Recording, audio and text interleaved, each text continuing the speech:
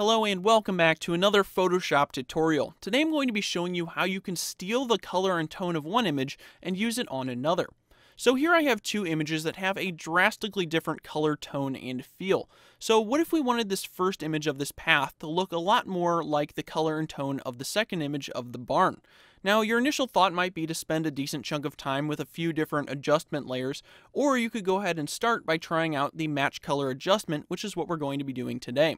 So I'm just going to flip back over to the first image here, and then go up to Image, down to Adjustments, and then down to Match Color. Now the first thing that we're going to look at in this dialog box is this option called source down here under image statistics. Now this is where you're actually going to select your second image that you want to steal the color and tone from.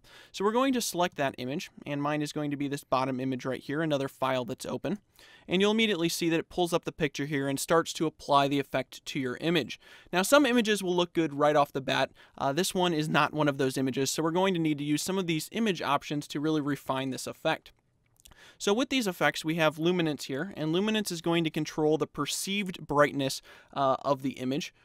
The color intensity is going to control the vibrance, and the fade is going to control how the color is faded from the new image we brought over of the barn onto the original image of the path.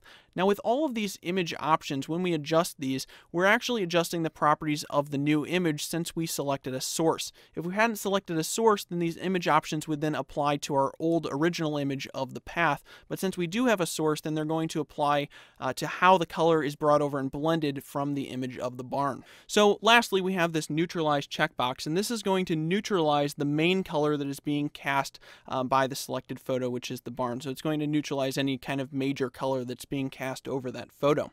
So I'm just going to go ahead and set some of these. So I'm just going to put this one at about 125.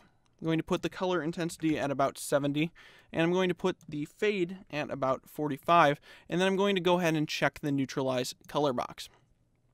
So if we then go up to the preview, we can see how this change has taken effect on our image. So you can see the before and after and that's pretty a pretty drastic change. So if we go ahead and click OK, we can flip between these images after it's gone ahead and taken effect.